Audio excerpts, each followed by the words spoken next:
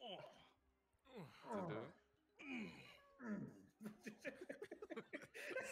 That's the review.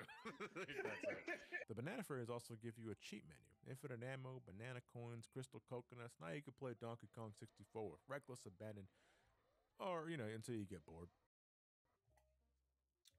Considering the long winded road I just traveled and the uh, copious amounts of Dr. Pepper I just drank, the kidney stones I'll likely have to face later. I hope this video is what you guys were looking for. I really do. And for those that uh, didn't play this game but wanted to understand and experience the pain of this journey, or at least watch someone else experience the pain, I hope you guys now have an understanding. You fucking jerks. But now what? I mean, the video's over. The punchline has been said. I don't know how to cap this video off.